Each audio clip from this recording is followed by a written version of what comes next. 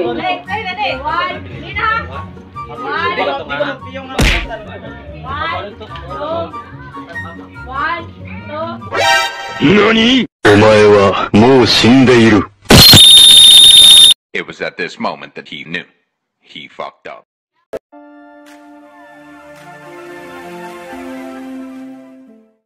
Hi guys! What's up? It's me again, Via. And so, for today's video, gagawa tayo ng prank. At ang ipaprank natin ay si...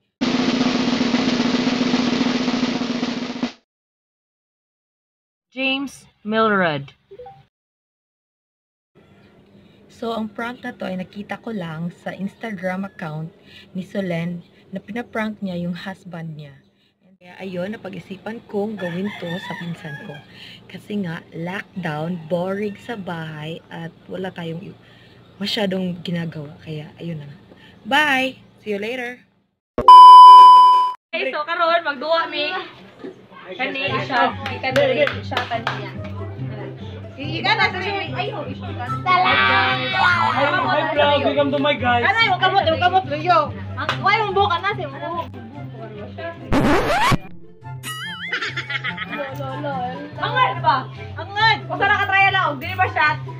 ఉంటే కానీ నాకు అమ్మ ఉంచు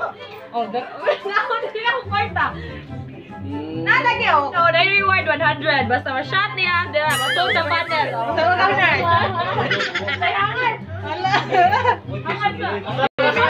Wala ko ba? Trial ka na, trial, trial. Ay, lang piyong. Hangad. Hangad ba? Ana, Jude, ana.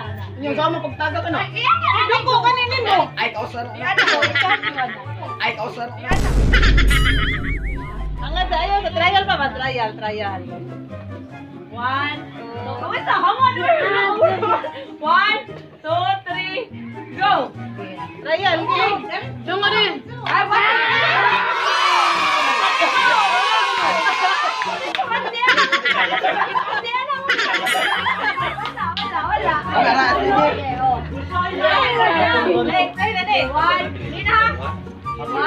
Hindi ko lang piyong.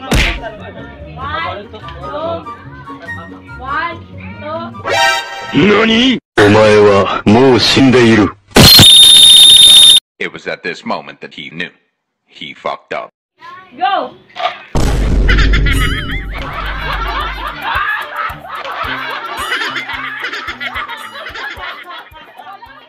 Successful yung prank natin kahit naman hindi siya talaga yung ipaprank natin na tao.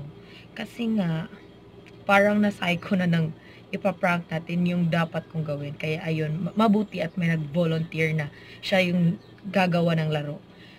Kasi nga, nasilaw siya sa 100 na premium natin. Thank you for watching. Hope you enjoyed. And also, don't forget to like, share, comment, and subscribe. And also, don't forget to click the bell button para updated ka sa lahat ng videos ko. That's all for today. Bye-bye!